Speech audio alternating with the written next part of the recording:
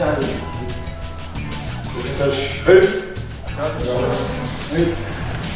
三鎮は意味何三鎮の意味は意味何そう三鎮の意味はね気を練る体内の気を作ることです。気があると病気にも負けない。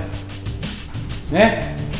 りんご1個食べたらとても体にいい三鎮毎日したらもっと体にいいんだね。体内の気を作る。三鎮は合樹類の基本なんだね。気を作ることです。合樹類の試験は必ず三鎮が対象それからこれは戦前はこの外がだったけどねで人間大きくなってくるからこうなっちゃう。私は考えて直しました。ね。昔はみんなみんな決めた565でも大きい声だからね。今みんな75とか言うからこうこうこれはねこっちがそうになるでこっちは一つ入るぐらいワンコ串ね。で三鎮は木で言えば木の根っこ。ね体で言えば木の根っこが三鎮です。だから三鎮一番大事だからね。宮城長人先生はね三鎮3ヶ月させたり4ヶ月させたりしてね、えー、来ないのはいいって感じでね。残るものだけにしっかり教えました。ね。だからいつも78名しか弟子はいなかったね。バンバン入ってバンバンやめていく焼き道場もなめ道場もみんな残って頑張ってるから偉いです。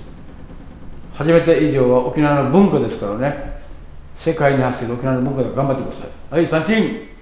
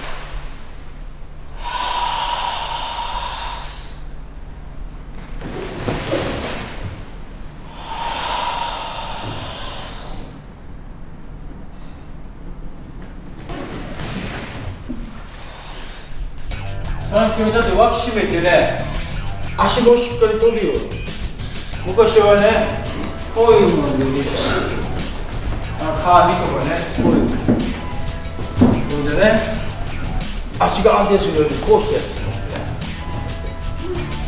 ね。でこれだけでも足だけでもしっかりね。足の開く時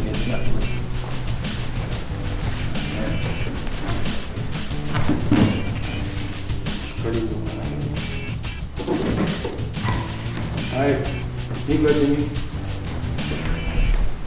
僕表やったら足の運びはこれで鍛えてみましょ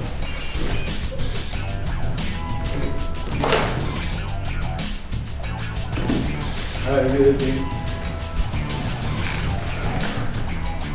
上やって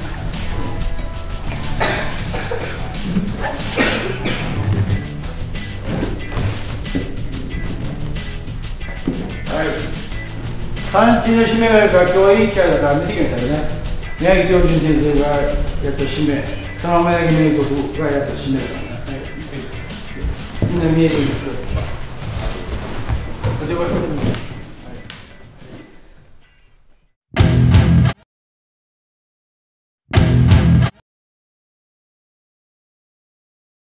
はい、三振よーい始め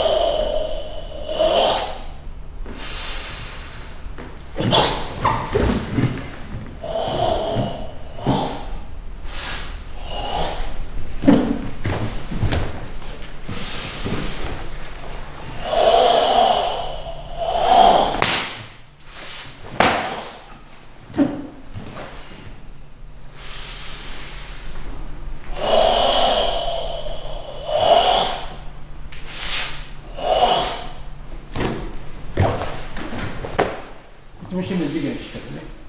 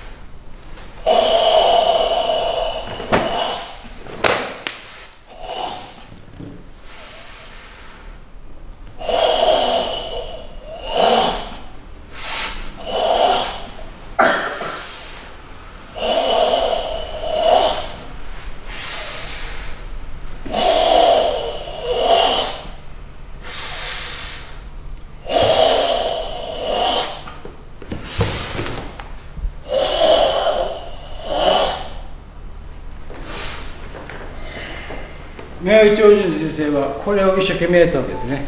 鍛えたわけですよ。八木名人もそうだけど。もう三鎮終わったらとても安心したんだよね。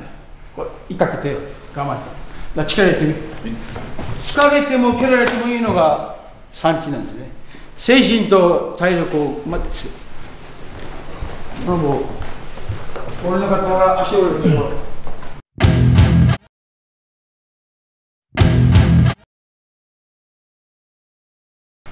これは棒だけど三鎮で折れるんだよ。思い思い切れたら棒も折れる。構えてください構えてこっち打ってるからね。とりあえずよ。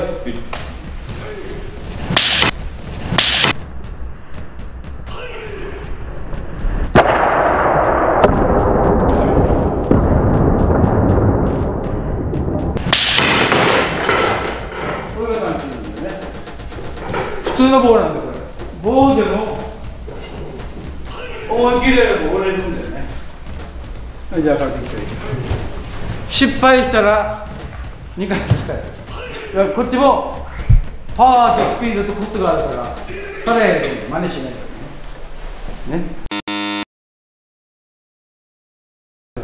なぜ叩くのって聞くんですよ、よく。三鎮の場合。あ守備ですね、はい、あれがちょっとよくわからない、ねうん、あれはですねパンツ一枚あった昔は。ずっと。